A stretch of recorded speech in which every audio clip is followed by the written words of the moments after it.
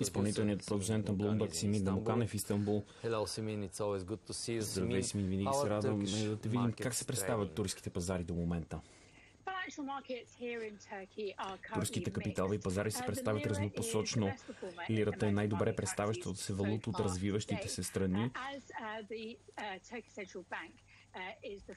А по-късно тази седмица вниманието ще бъде насочено към Турската централна банка.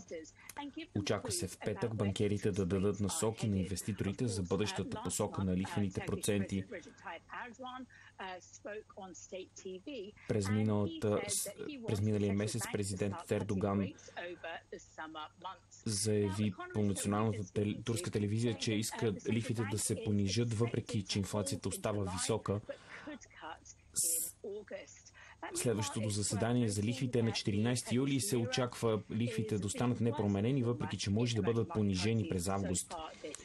Трябва да отчетем, че лирата поевтинява с 15% спрямо щатския долар от началото на годината, което е най-големия спад от валу... на валута от развиващите се економики. Борса Истанбул поевтинява за четвърти ден и се насочва към най-слабото си представяне за едно полугодие от юни 2018.